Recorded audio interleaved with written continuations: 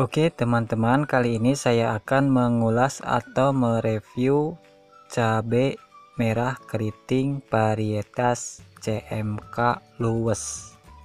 Ini adalah contoh CMK luwes yang berusia 54 hari setelah tanam.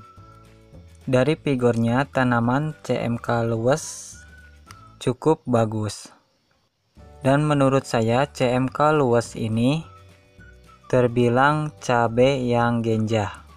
Dari ketahanan virus Gemini, CMK luwes ini yang berusia 54 hari setelah tanam kira-kira terserang 10%. Dan dari segi ketahanan penyakit layu, sejauh ini dari yang saya tanam ini belum melihat gejala-gejala cabai yang terlihat layu. Dan untuk masalah bentuk ukuran buahnya, saya belum mengetahuinya karena cabai yang saya tanam ini baru muncul bakal buahnya, contohnya seperti ini. Mungkin segitu saja, nanti saya akan update lagi tentang informasi CMK luas yang saya tanam ini.